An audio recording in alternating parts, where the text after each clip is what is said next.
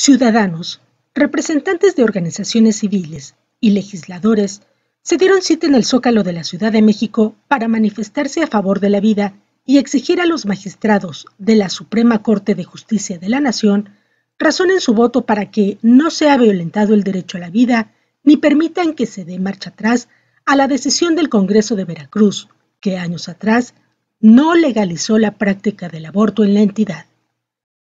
Rodrigo Iván Cortés, presidente del Frente Nacional por la Familia, encabezó esta manifestación, que concluyó con la entrega de 200.000 firmas a los magistrados de la primera sala de la Suprema Corte, y así dejaron en claro que los mexicanos expresan su rechazo a la legalización del aborto. En este momento nos dirigimos a la puerta de la Suprema Corte de Justicia de la Nación. Vamos a entregar, por lo tanto, las más de 200.000 firmas. El pronunciamiento que hicimos está dirigido también a la Suprema Corte, así que acompáñenos. Viene la gente también que nos hizo favor de acompañar, todos los movimientos Vida, Familia, están aquí presentes para hacer esta defensa de la vida ante lo que podría ser una suprema injusticia a la nación. En la manifestación se levantó la voz por las mujeres, quienes han sido utilizadas como pretexto para buscar que en México se legalice acabar con la vida de los no nacidos.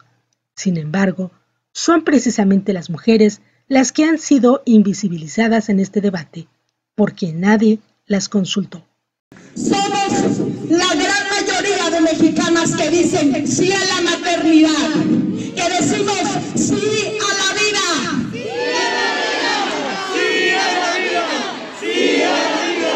sí a la vida, sí a la vida, Que decimos sí al matrimonio y sí al respeto mutuo entre hombres y mujeres y a los valores que sostienen este país. Somos la verdadera voz de la reconciliación nacional, las que unifican el país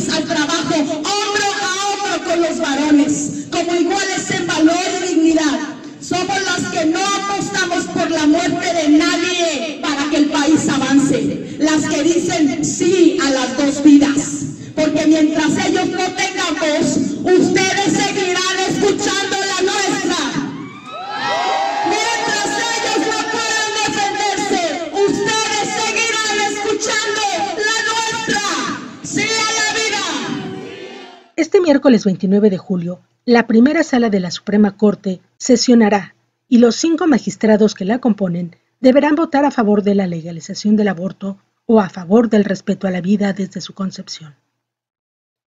Soy Sonia Domínguez. Yo influyo.